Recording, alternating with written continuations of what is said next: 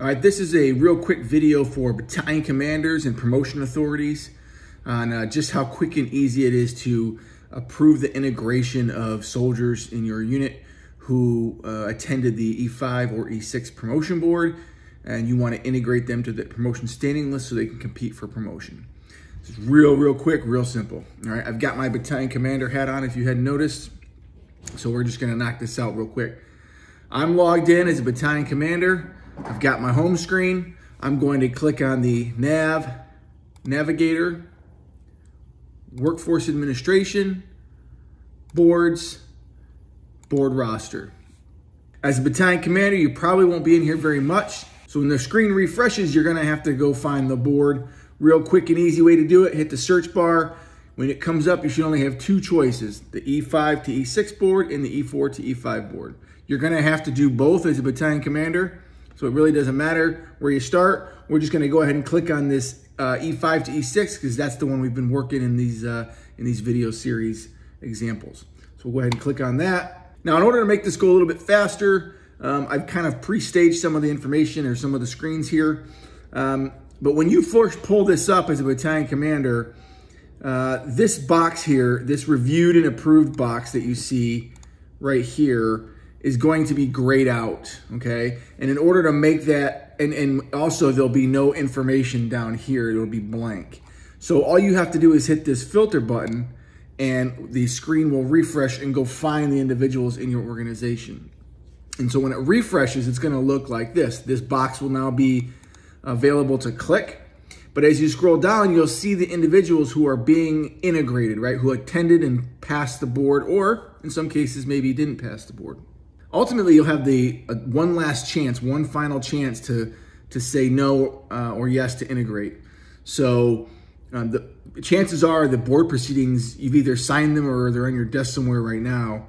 And it's going to have that list of names of people who attended the board, signed by the board president and you'll have to uh, manually sign that.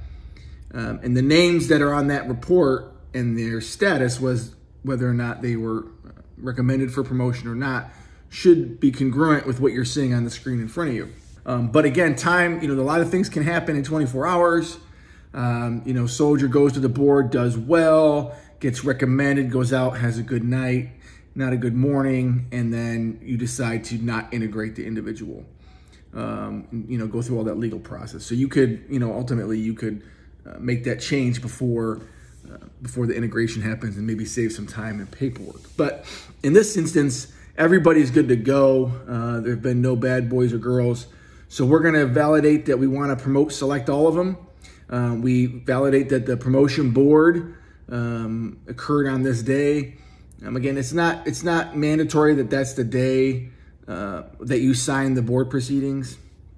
Um, it's just mandatory. That's the day that um, the board approved their recommendation, right? Um, and so if that's all good and all well and done, we're just going to click this reviewed and approved. And are you sure you want these members to be promotable? Yes, I do.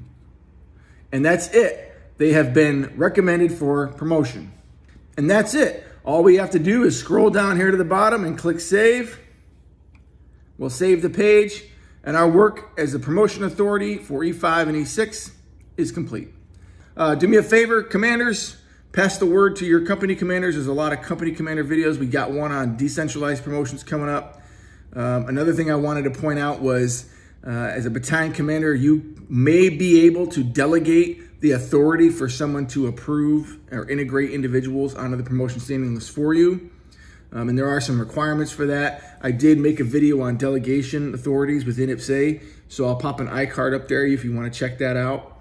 Otherwise, I appreciate you watching. Click the subscribe button. Follow us on YouTube, Twitter, uh, MilSuite, and MilTube. Defend and serve.